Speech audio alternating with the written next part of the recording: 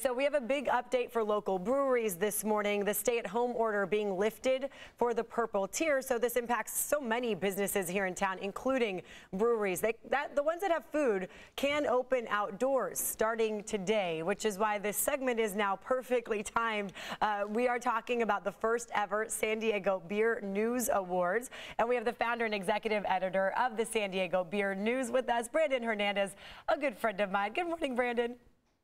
Hey there, how you doing? I'm doing good. I'm doing a lot better now. I don't know if our viewers can see this big row of uh, beers lined up, but thank you for sending this in. Yes, you are welcome, and I'm glad it comes at such a great fitting, nice time for breweries here. What a, what a great advance for them and ability to uh, maintain during these weird times. Oh yeah, they've they've had some challenges, but I do appreciate your updates constantly on all the local breweries, what they're up to, their new releases, and now you have this new competition. So let's talk about that.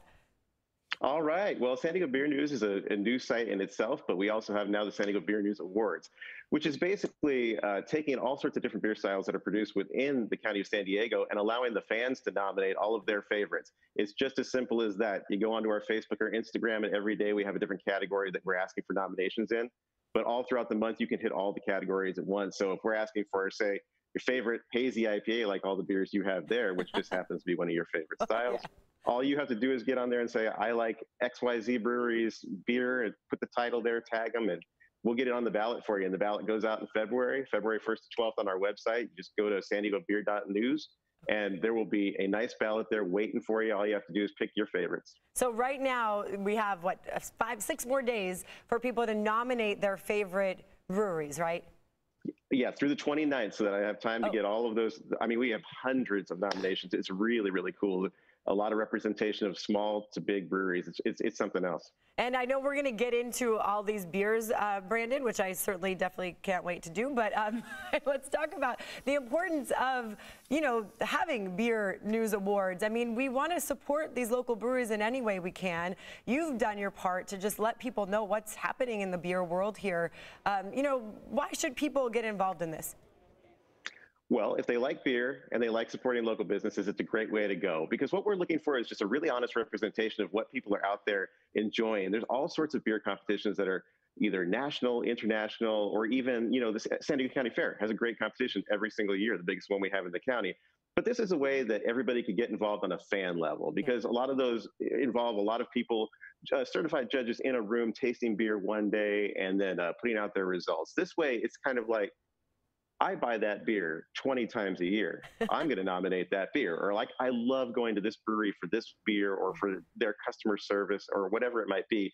And you get to just really go in there and give them the love that you want to give. And you find out, you know, across the spectrum of all the people that vote throughout the county that other people feel the same. And okay. it's just, it's just a nice way for San Diegans, for San Diegans, by San Diegans, you know? Yeah, which it's so nice to do. We do it among our friends. You and I talk about beers all the time, and then now you can actually nominate, see them on a list. Uh, so let's talk about what we have here because there's so many. Talk about these beers. Right. What, are, what, are, we looking at? Okay, you just go ahead and take a couple of sips. It'll get real fun to watch you do the news after that. I've never but, um, had So what we have drink. here is a style you like that. called hazy IPA, which is also known as New England style IPA.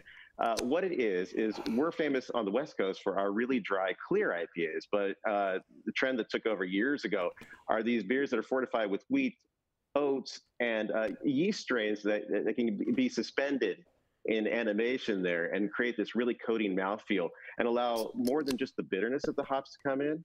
You get this fruitiness. So uh, you have Hazer's going to haze there from Belching Beaver mm. up in uh, Oceanside and Vista. Right here, right Burgeon, here what a brewery that I know you like, Citra yes. by the Sea. That's called that because it's made with all Citra hops, and oh, uh, as the name one. implies, very oh my God, citrusy this one, in flavor. I literally they sell out all the time. I beg. But we hooked you up. You see, we hooked you up. Oh yeah, you did. then we have a, a, brewery in San Marcos, uh, uh, Dos Desperados, a really yes. great family-run operation. Hazy Daisy. It's named after the dog of the head brewer. It's got El Dorado oh. and Mosaic hops. El Dorado's kind of lemony. Mosaic's very tropical and citrusy, so you get a whole rounded out experience there. Mm-hmm. Five Suits Brewery, Planet Nectaron, that is named after a new New Zealand hop. It's very in vogue right now. Uh, it kind of has everything under the sun going on with it tropical flavors, stone fruit flavors, citrus flavors, and it's all from that one hop. Oh. Meanwhile, Kilowatt in uh, Kearny Mesa and Ocean Beach Jesus, they have five different hops in there to make that experience occur. So they're more into blending a bunch of different hops together, as is North Park Beer Company with their Art is Hard. Uh, a great way to describe brewing. It has a hop in there called Simcoe, which I gets described Yes. as catty. I call it kind of grassy. Uh, it's it's really interesting kind of flavor. I'll let you take where caddy might be. But then Pariah Brewing has a much better adjective, dank drank. That's the Dank. I always describe as the drank. rock concert adjectives. Mhm. Uh, you might know what that means. When the lights go down, it starts to it starts to it starts to smell a little bit like dank drink. I- I've had a few sips and they're all so, so good. I don't know how people are going to pick their favorite, but we only have 15 seconds. Real quick, how can people take part? Facebook or Instagram, San Diego Beer News, or go to san diego beer.news. Which one did you like best? Um, okay, right now I will say Dank Drink, Pariah. Nice.